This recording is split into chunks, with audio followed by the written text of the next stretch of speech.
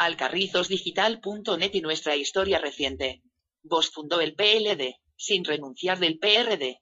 A la sazón, en el Partido Revolucionario Dominicano había una profunda división con dos cabezas, Juan Bosch y José Francisco Peña Gómez. Bosch había regresado de Europa para las elecciones de 1970 y auspició la abstención electoral, decisión que facilitó que el lanzador Joaquín Balaguer fuera reelecto el 16 de mayo. Para noviembre de 1973 había sido asesinado, el 16 de febrero, el presidente Francisco Alberto Caamaño Deñó, capturado vivo y sano luego de un ligero combate mientras dirigía la guerrilla de Caracoles. El desembarco de Caamaño ahondó las diferencias entre Bosch y Peña Gómez.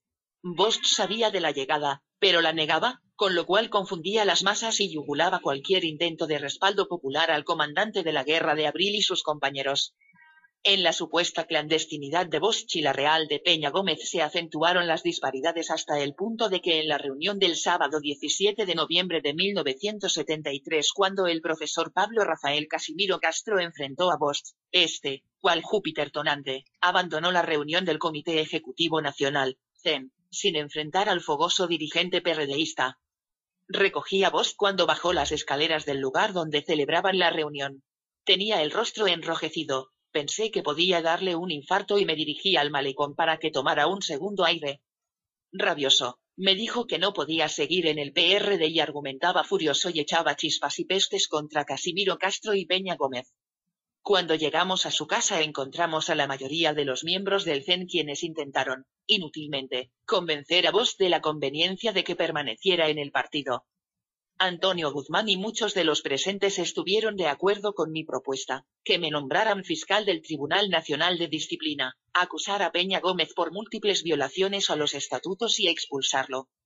Avanzaba la tarde y Antonio Guzmán, Salvador Jorge Blanco y no recuerdo si José Augusto Vega Inver, viajarían a Santiago. Se convino que Antonio Guzmán, Secundino Gil Morales y Manuel Fernández Mármol se reunirían con Bosch el siguiente lunes 19 de noviembre, para conservar sobre el tema.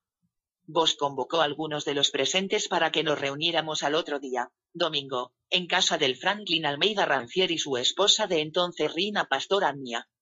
Domingo 18 en la mañana, Bosch vestía un saco deportivo azul sin corbata. Saludó y antes de iniciar la reunión, sacó un papel del bolsillo interior del saco y dijo, así se va a llamar el partido, Partido de la Liberación Dominicana, PLD, que se parece a PRD, fuente. Bonaparte Gotro Piñeiro. Artículo escrito en periódico hoy de fecha 6 de noviembre del 2000.